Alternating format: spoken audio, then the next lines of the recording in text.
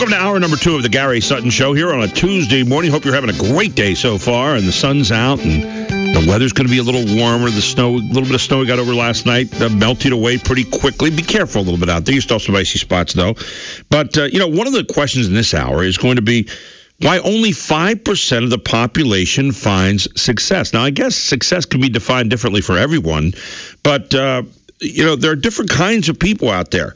And we're going to find out from our next guest this morning, Rick Ruiz, exactly about those different kinds of people and what they're doing or not doing. Rick is a uh, was a deputy program manager on a billion dollar program for a Fortune 100 company, managing a nationwide operation with a workforce of 15,000 people. Now he's president of the Positive Psyche Business Corp in Washington, D.C. They train and consult, and he's an inventor. He's a writer. Rick is the author of the action guide Wisher, Washer, Wishy Washy wisher, washer, wishy washy, how to move from just existing to personal abundance. And Rick joins us this morning here on the Gary Sutton Show. I had to say that twice, Rich, Rich, because it's uh, it just it, it's one of those things that just kind of catches your eye, and that did me yesterday. And welcome to the show this morning.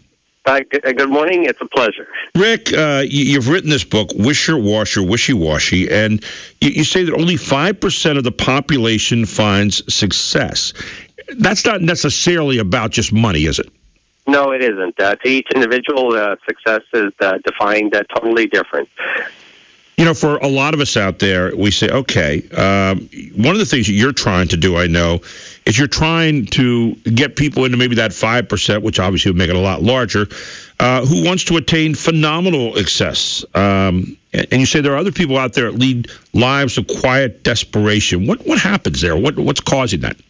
Well, I, I think uh, something that I've discovered in my career is that there's three types of people, and we all go through these phases. Uh, we start off um, as children, we are fearless. We want to explore. We want to conquer. We we we learn to walk. Uh, we fall down a hundred times. It doesn't matter. We just keep going, and eventually uh, we succeed. But somewhere along the line, we start to allow society and people and friends and family to to define who we are, and we start to uh, uh, suppress our uh, ability and desire to really take some risk. So one of the things that I found is that uh, we're, we're all wishers. We're, we're looking into the future. Right. Uh, I wish that this will, uh, you know, happen for me. I can get this good grade. I can get this uh, house. I can get this promotion. But we don't really commit and do what we need to do to, to achieve it. And then later on in life, uh, as, as weeks, years go by, we end up looking back with regret, and we we, we wish we had done this, and we wish we had done that. So those that's where the wisher came in. Uh, there are people that do go out there. They try a little of this they try a little of that. They they flip flop around. They don't achieve as much success as they possibly could, and that's where the wishy washy comes in. And the people that really achieve something, that go out there and say, I want to achieve this no matter what it takes. I'm going to carve the Grand Canyon, for example. I'm going to go wash away those obstacles that are going to be in my way. Those are what I call the washers, and those are the people that achieve phenomenal success. You know, the wishers, there's a lot of people out there. We're looking at the lottery right now. It's up to, what, $400 billion, or whatever it is right now. And, and people say, oh, I got to get my money and I, I got to make sure I'm in that. And and they wish, and then they plan, and then at the end, when they're disappointed because you know all but one or two are gonna are gonna lose, uh, they say, "Geez, uh, I'm depressed." Uh, you know, wishers. I, I I read somewhere one time where someone said, "You become what you think about," uh, and that is success. You become what you think about because you'll do the things that you have to do to become what you think about. Do you subscribe to that at all? Absolutely. Uh, that statement originated with uh, Earl Nightingale and also uh, Napoleon Hill. Absolutely. You, you become what you think about. You know, there is an element of luck in, in life, uh, where we're born, what culture, what environment, uh, what upbringing we have. There is that element of luck. So uh, we can't discount that. But there are if you look at the successful people in life, they have had to overcome tremendous uh, adversity, at least the vast majority of them.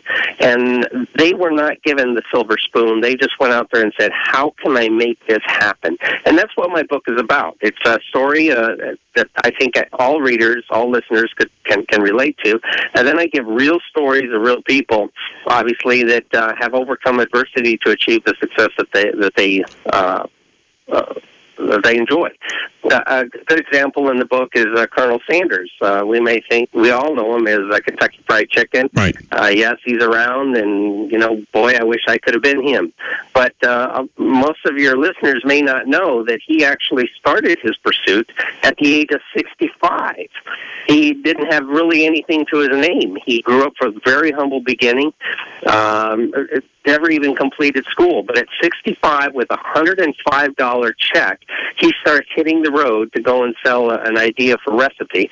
And after a thousand and eight no's of people saying thank you but no thank you and laughing at him, he he finds somebody that says yes, and he ends up uh, starting the franchise that uh, you and I know today. Rick, I don't want to get into politics on this, but there is a an element of people in this country today who are pushing this idea of inequality between those who have achieved and those who think that they deserve to have part of that achievement.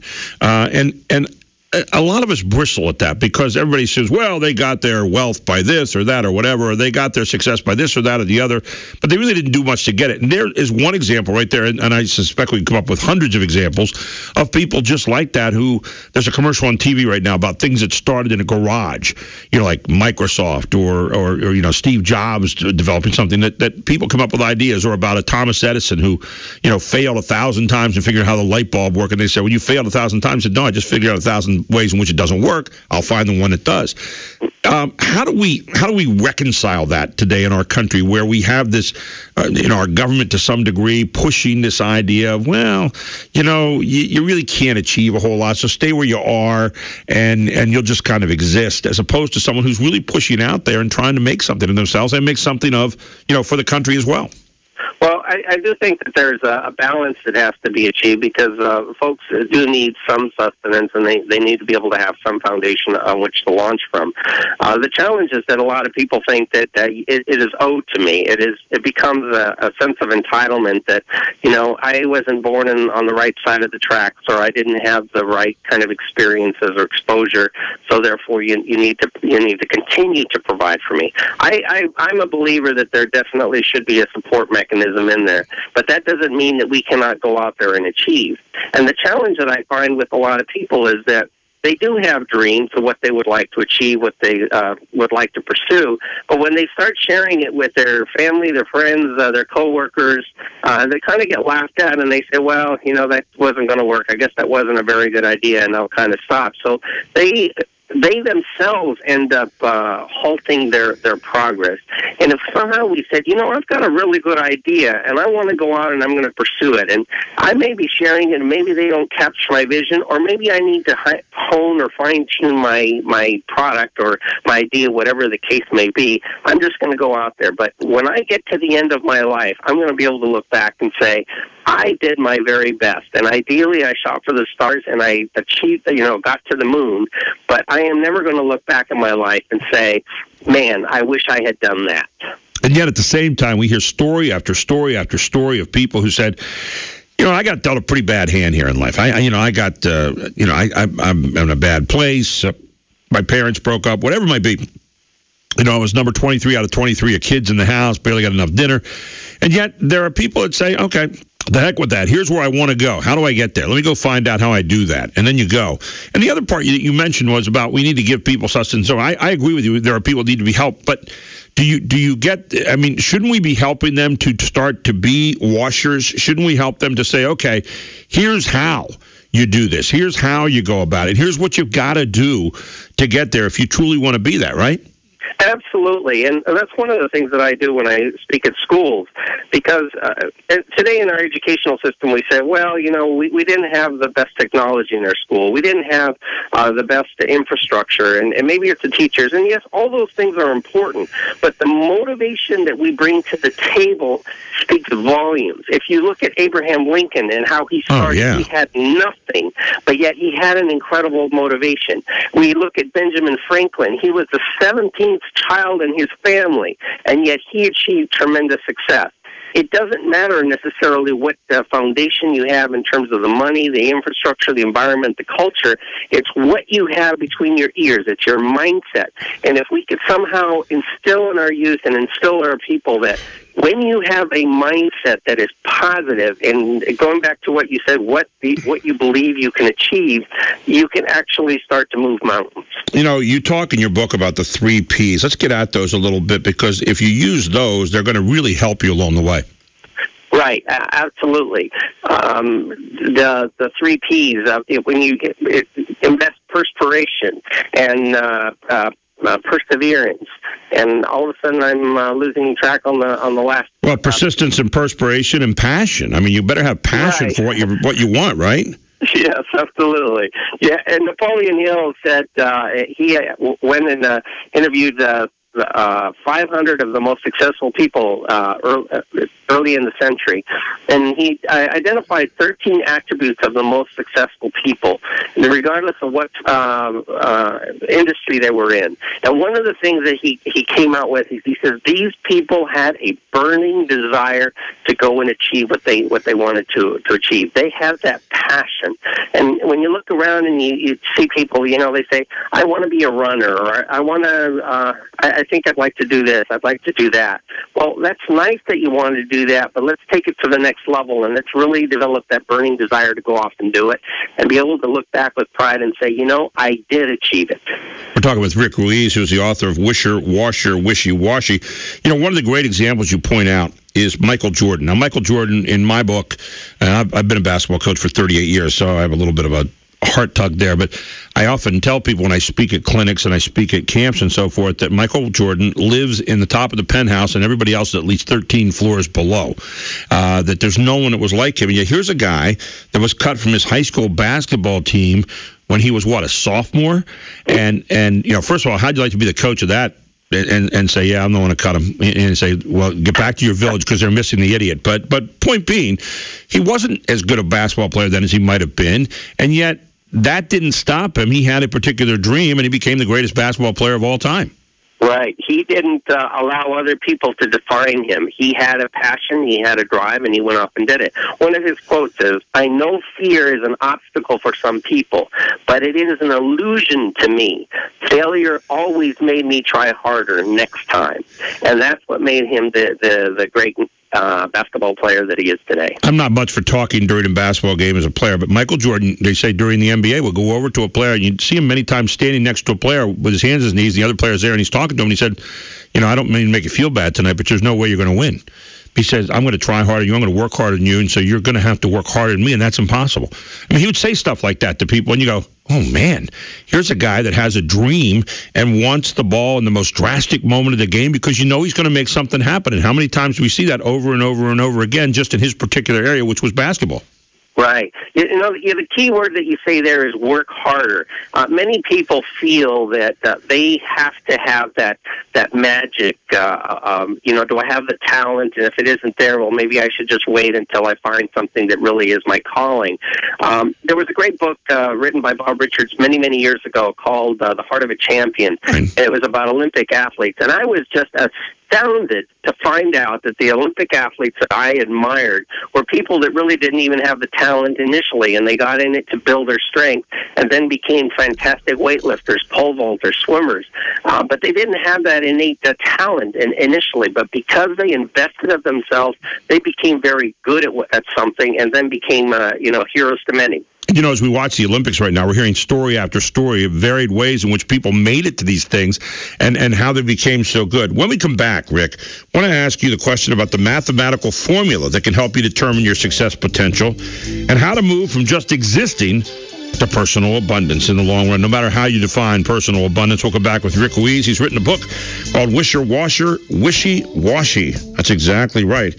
And uh, you can find it out there at www.wisherwasher.com. We'll be back with Rick Ruiz with more right after this on the Gary Sutton Show on WSBA. Welcome back to the Gary Sutton Show We're with Rick Ruiz, excuse me, who is the president of uh, Positive Psyche Biz Group, uh, Corp, actually, a Washington, D.C. training and consulting firm. He's also the author of Wisher Washer, Wishy Washy, How to Move from Just Existing to Personal Abundance. Rick, uh, and this was something I thought was really interesting. You talk about a mathematical formula that could acu- actually help you to determine your success potential. How do you do that? Well, um, it started off with uh, uh, studying uh, the, the the great leaders of our past. And one of the interesting things that uh, I learned from Edison, you mentioned him earlier in the show, Right. is he he said to increase your success potential, you need to double your failure rate. And I was always amazed by that. I c- didn't quite understand it when I first heard it. But as I've gone through and I've studied uh, successful people and what they've done, and, and even companies for that matter, I was able to synthesize uh, uh, um, success potential down into a mathematical formula. And everything in, in, in life, our universe is, is, is based on mathematics. And here I, I really uh, uh, feel that I found uh, the, the magic formula. And it's basically this. You take what your, you, you compile a listing of what your innate attributes are. You, you may be strong, you may be tall, you may be, know how to play the piano. Uh, there may be some uh, innate attributes that you have. Then there's some acquired attributes that you have. And again, I use the, the example uh, uh, play the piano there. That's something you acquire in time.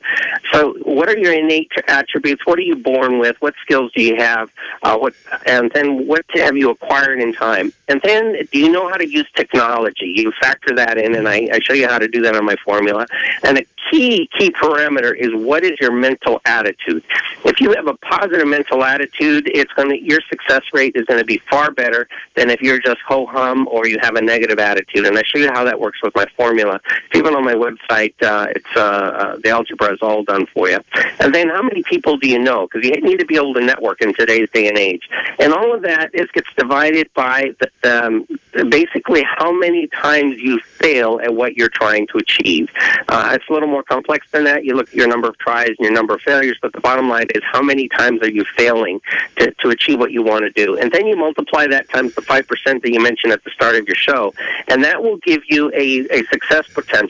And the key thing is, as you play around with the formula, you'll start to see that the more times you fail at whatever you're trying to do, but you get up and go again, uh, you're going to see that your success potential increases dramatically. Wow. That's kind of interesting. I, I never thought about that, but the statement that you made too, um, to reach success potential, you have to double your failure rate. Never thought about that. And I guess when you're doing that, you're also really upgrading your idea of persistence, right? Which is one of the things you talked about in the beginning. That's correct. I mean, you talk about Michael Jordan. How many times did he fail to make the, the shot? But nonetheless got up. How many times, you know, you started off with being cut from the basketball team, but you know what? I'm going to get up and I'm going to go at it again, and I'm going to go at it again, and I'm going to go at it again. Same thing happens with baseball players. Same thing happens with uh, Olympic athletes.